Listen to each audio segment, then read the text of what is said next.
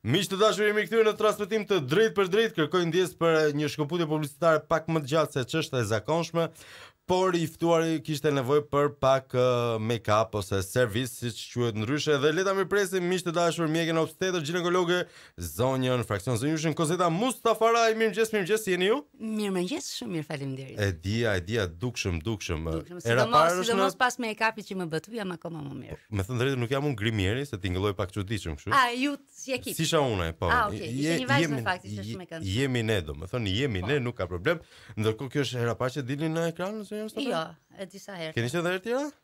Në ekranin tuaj jo, por në ekrane të tjera po. Keni qenë? Nuk dukeni. Bëj shaka, bëj shaka.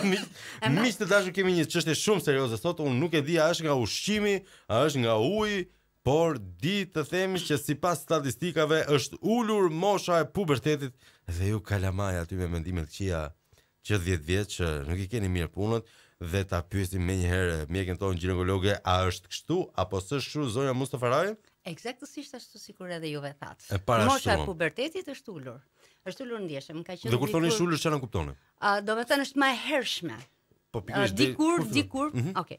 Dik, dikur ka qenë në, në moshën 12-14 vjeç dhe për për vajzat dhe për djemtë 13-15 vjeç tani është ulur është 8-11 vjeç për vajzat. 8. Yes. Dhe 9, 13, 12 vjeç për djemtë. Përse ka ndodhur? E para njëherë çfarë nënkupton kjo hyrje në pubertet kaq herët? Në atë lloj strukture fizike që kanë fëmijë, se janë fëmijë, janë fëmijë, s'janë as paraadoleshentë. Normalisht që fillimi i hyrja në pubertet do të thotë që ty të fillon të ndryshon trupi. Domethënë ti ke vërtet ke trupin e fëmijës, por nëse në momentin që ti futesh në pubertet do të fillojnë ndryshimet e para, të cilat janë të dukshme dhe janë të përputhshme me pubertetin. Ajo që ka ndryshuar është thjesht mosha e uljes dhe ka një në fakt nuk është pjesa për trupi ai që ne na përbën problem, por është pjesa psiqike. E kuptoj. Domethënë ti je një fëmijë i papërgatitur psiqikisht për të qenë në pubertet dhe ndërkohë ti të ndodh puberteti. Dhe ndërkohë puberteti lidhet me një mendje të keqe në një uh, njëra, kontekst seksual. Njëra, njëra, njëra në fakt është nga nga mendja e keqe, se në fakt puberteti është një një një spektër i gjerë ndryshimesh. Mm -hmm. Është shumë më i gjerë se sa thjesht uh, seksi. Okej. Okay. Nëse nëse të intereson. Po më intereson, sigurisht. Atëherë, sigurisht prindër që po na ndjekin këto momente që kanë ndonjë fëmijë në këtë moshë dhe është e frikshme në fakt të jesh babai i një vajze që tetë vjeç është në pubertet le të po, themi. Po, atëherë përpara se përpara përpara puberteti nuk ndodh brenda natës, nuk është se ti e vajte e vure vajzën apo djalin në krevat, dhe të nesërmen erdhi në pubertet. Okej, okay. okay? nuk nuk ndodh një proces i tillë. Do kohë, do kohën e vet. Mm -hmm. Fillojnë ndryshimet e para. Ndryshimet e para i kanë të bëjnë me ndryshimin në në në strukturën në në në në, në strukturën e trupit të të, të kockore radhë të parë, ja, po, domethënë fillojnë të ndryshojnë kurbaturat, fillojnë të rritet në gjatësi dhe të ndryshojnë gjithashtu marrja e gjerësisë, sidomos te kofshët tek shpatullat dhe te gjoksi. Më pas pasi fillon të ndryshon në peshë dhe në gjatësi, fillojnë ndryshimet në shpërndarjen e indit dhjamor kur bëhet më është më më më më i dukshëm fillimisht dhe më pas hollohet si ind dhjamor.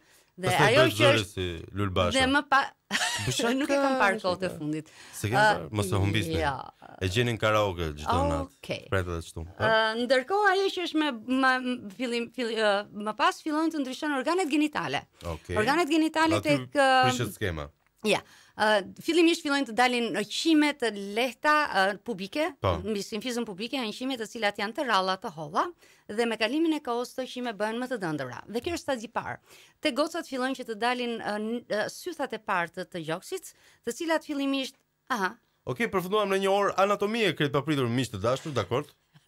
po sepse e thamë që nuk ndodh puberteti në një ditë. E kuptoj, sigurisht. Domethënë ti nuk duhet të bëhesh buildi në day thotë. Ti nuk duhet të bëhesh merak se vajza jote ra dhe u zgjua në pubertet. Domethënë ti do ta shohësh jo, vazhdimisht. Jo, nuk është ajo mosha që frekuentoj me thënë drejtën. Okej, okay, vajza janë pak më të rritur ato që okay. frekuentoj.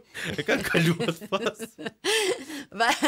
Domethënë, në, do shohi që vajza si kanë dalë dy, dy sytha të vegjël apo dy nyje të cilat okay. janë të, të, të, të ndara, te djali fillojnë të rriten uh, testet, fillojnë që të ketë, penisi i fillon të rritet në gjatësi, o okay, më fal, tash në një fjalë trupi. Okej, okay, zonjë, është emision mëngjesi, ju lutem, dhe përfunduam në anatomi. Te, te, trupi dhe shëndeti krejt papritur. Okej, okay. dhe, kjo, dhe gjithë kjo shoqërohet me ndryshime psiqike, psikologjike. Nëjse, të gjithë mm -hmm. me mhm. shaka dhe pa shaka. Kur kjo i ndodh një mashkulli, besomni nga eksperienca, kënaqësi më e madhe nuk ka kur fillon të jesh më më i pajisur. Sidoqoftë zonjë, pse sipas jush kjo gjë? Pse ndodh më herët? Pse është ulur? Uh, është ulur si si rezultat i shumë faktorëve. Faktorët janë nga uh, mënyra e jetesës, domethënë njerëzit janë më të ushqyer dhe jeto uh, ushqehen më më shumë dhe normalisht rriten në peshë trupore. ndryshimi klimaterik ndikon okay. sepse zakonisht sa më të nxehta dhe sa më më shumë diell dhe afër diellit të jetë aq më aq më herët ndodh menop, ajo puberteti puberteti dhe ndryshimet e ushqimit sigurisht dhe të A mos kur thoni ndryshimet e ushqimit sigurisht që ndoshta ushqemi më shumë se dikur ushqemi më shumë po jo cilësia flasim për sasinë pikërisht e para në sasi e dyta Mos këto ushqimet me hormone janë hormone që na përfundojnë në trup. Edhe ato ndikojnë shumë, sidomos ushqimet që hanë nënat edhe që gjatë shtatzanisë ndikojnë në në në pubertetin më të hershëm të fëmijës që ato mbajnë në bark. Dakord, e, e kuptoj këtë pjesën e shkaqeve, pra pse ndodh që është ulur mosha e pubertetit dhe kemi filluar kemi njerëz në klasë të parë me me mustaqe tani më. Mm -hmm. që dikur i shifni vetëm ata që s'kishin pas mundësi të shkolloheshin me mustaqe në klasë të parë, tani janë thjesht fëmijët tanë të zakonshëm. Pyetja që unë kam është Kjo gjë që po ndodh, a është thjesht një fakt me të cilin duhet të mësohemi dhe të biem në paqe, apo është një këmbanë alarmi për gjendjen psikofizike të fëmijëve tanë? Mm, nuk e ndan dot nëse është alarm apo është. Fakt është.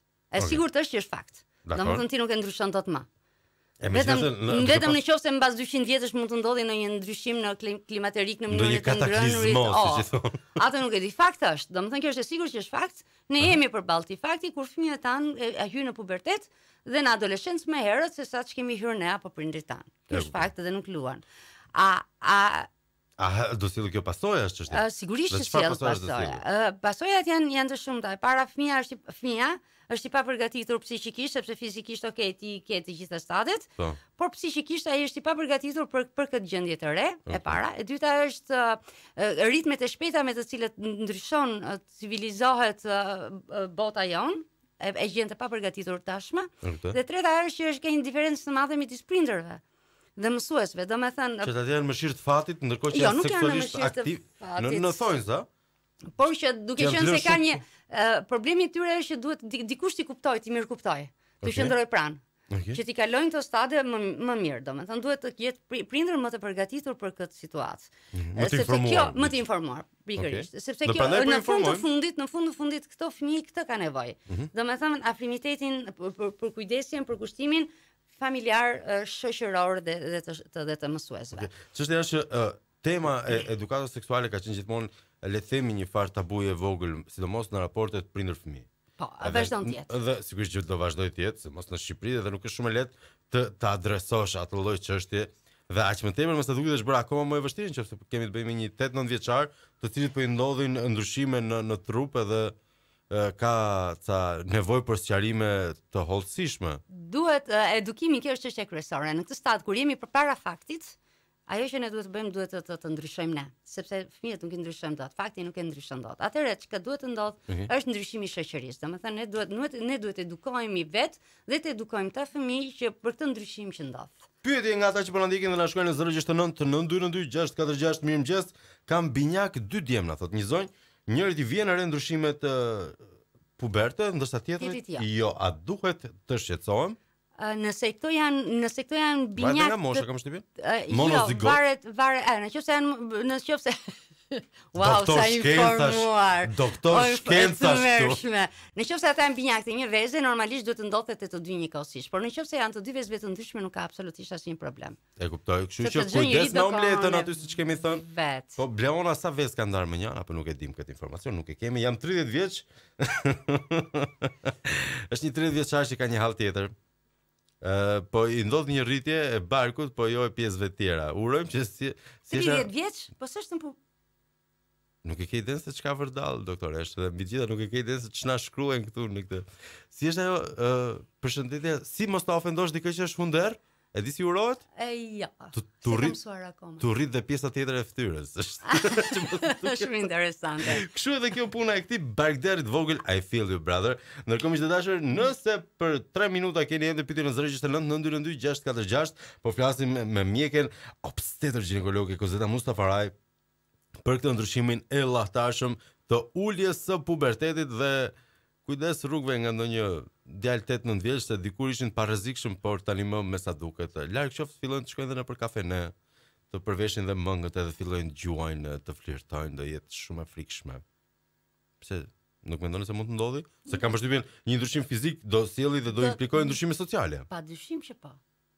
Është e sigurt. Dhe cilat mendoni se mund të jenë disa nga aspektet sociale në ndërveprim që do të ndryshojnë? Pjesa e parë është që fëmia në përgjithësi duke duke mos patur një një relacion të mirë me prindrit ose me mësuesit në përgjithësi do t'i fshehë ndjenjat e veta. Mhm. Do mundohet t'i suprimojë të gjitha ndjenjat, ëm dëshirat, mendimet dhe kjo do ta bëjë impulset dhe kjo do ta bëjë që të formohen komplekse tek tek fëmia. Domethënë do bëhet më kompleksiv. Okej. Okay. Kjo është pjesa e parë. Mm -hmm. E dyta është që uh, fëmia duke duke qenë se ka një një një një gjë të re, një bombë të re në brenda vetes vet, diku do ta nxjerrë. Mm -hmm. Dhe atëherë do të do të do të drejtohet diku për për për të shprehur këtë. Dhe e keqja është se ku do të drejtohet, sepse mund të drejtohet te persona të gabuar, Dhe të marri informacionin e keq, informacionin e gabuar që kjo do ta dëmtojë. Mund t'i drejtohet ë pornografisë, do të krijojë një identitet tjetër pastaj. Pikërisht, mund t'i drejtohet po, pornografisë në nëpër nëpër kompjutera ose linja të tjera në celular që ato mbajnë tërë ditën në dorë dhe atëherë kjo do t'i dëmtojë më tepër se sa një një një sqarim. Kjo do i marri në qafë pastaj.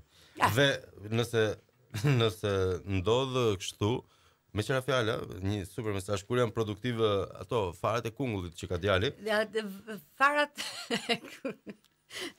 Ato fara që mbillet toka. Okej, okay, dhe kjo varet në, faktikisht nuk nuk e përcakton dot me moshë eksakte tek tek një. Duhet të kalojnë të paktën 4 vjet që nga momenti kur kur hyn në pubertet. Që ka ejakulacion derdhje të spermës që në Faleminderit që jeni kaq specifike, ndërkohë njerëzit janë duke ngrënë mëngjes, ë, pse jemi Ashtu është në fakt, po flisni terminologji shkencore, se nuk është se është Kastro Zizo në studio që po na thotë këto gjëra. Ndërkohë zonjë, uh, kur kalojnë pubertet kaq të vegjël, sa e largët është dita që shtatzënitë e padëshiruara të na gjenden mes nesh? Uh, në moshë shumë të vogël. Sigurisht që edhe kjo do të jetë problem. Domethënë nëse ti hyn në pubertet 8-10 vjeç, 11, atëherë në 13 vjeç ti jeni ti mund të mbetesh shtatzënë dhe kjo është njëra nga problemet që që më të mëdhaja sot uh, që që në të cilat gjithë mjekët mundohen që të edukojnë nënat dhe shkollat të kenë një ndikim për t'i edukuar për të ditur për t'i njoftuar më tepër. Jo, për t'i njoftuar mbi mbi mbi gjithçka që mund të ndodhë. Domethënë ti ke dëshirë seksuale, por nëse kryen marrëdhënie seksuale, ka dhe disa pasoja. Domethënë njëra më e shpeshta është ti mund të mbetesh shtatzënë, ti mund të marrësh sëmundje seksualisht të transmetueshme, ti mund të mund të dëmtohesh. Ti shkatërron jetën me pak fjalë që se 13 vjeç dhe ke kështu gjëra, është për Mund të mund të të bëhesh edhe pre e paso, domethënë pre e dhunës apo e, e zakoneve të këqija. Sidomos në atë moshë. Patjetër. Ë, do doja t'ju pyesja, nga eksperienca juaj, tani ju kalojmë në ginekologji cilësore. Nga eksperienca juaj me nënat e reja, çfarë ka ndodhur në një aspekt statistik? Pra, se kam përshtypjen në kulturën tonë dhe në shoqërinë shqiptare, aty rreh gjithmonë mosha, pra nëna të reja në në moshë. Aktualisht ku jemi me raportin e moshës së nënave të reja, lindjes së parë? Kjo ka, ka në fakt është është i variueshëm. Ka ka shumë që bëjnë në moshë, ka një grupim si të thotë, bifazik i themi ne Okay. Ka një ka ka një grupim në moshën e hershme që është 19-20 dhe më pas një më e vonshme 30-32. Okay. Domethënë se Për fëmijën e parë po flasim? Për të lindur fëmijën e parë. Okej. Okay. Domethënë varet nga nga nga Po nuk ka ndodhur ndryshime jo, dramatike. Jo, nuk ka ndodhur ndryshime. Më, më është më një çik më mirë është përmirësuar sepse dikur dikur dikur para 40-50 vjetëve i martonin vajzat herët, i martonin mhm. shumë herët, që 14-15 vjeçe dhe bëheshin nëna herët, okay. ndërsa tani nuk martohen, por uh, marrëdhënie seksuale apo problemet i fillojnë pavarësisht faktit të qenë e martuar apo jo. E kuptoj, por ndik, është... ndërkohë diçka tjetër që ka ndodhur uh, ndryshe nga 40 vjet më parë është që na kushton lindja e një fëmije ndryshe nga 40 vjet më parë ka shkuar një fëmijë sa desh' një makinë praktikisht. Pyetja ime është Këto fëmijët që lindin sidomos nëpër klinika apo spitale mm -hmm. private, a janë në gjendje pune direkt edhe t'i çojmë t'i regjistrojmë t'u bëjmë një librezë pune apo duhet t'i edhe t'i ushqejmë t'i rrisim ca vite të tjera? Uh, shumë interesante. Jo, nuk janë akoma në gjendje pune. Duhet të kujdesesh dhe të vazhdosh të kujdesesh për ata edhe për disa vjet të tjera. E, nuk mbaron puna. Nuk, nuk mbarojnë hallet këtu. Ai është vetëm Aja. Ndërsa është edhe Zenuni 13 vjeç që ka ca halle serioze. Zenun nuk është ky emisioni, është një tjetër emision ai që ta zgjidh hallin tënd, është pak më vonë ai. Diku pas mesnate, po do qëndrojmë në korrent me njëri tjetrin. Doktoresha Mustafaraj, ju falenderoj shumë për kohën tuaj, informacionin tmerrsisht eksplicit që na dhatë, por i domosdoshëm. Kënaqësia ishte gjithë. U bindët ju dhe gjithë ata që merren me ginekologji që ky është emisioni më i mirë i mëngjesit? Besoj se po. Faleminderit shumë. Miq të dashur, do kalojmë një shkëputje të vogël publicitare, do rikthehemi me të tjerë të ftuar, me të tjera çështje vetëm këtu në Të Vëdhin Radio 105.7 në Kafeinë.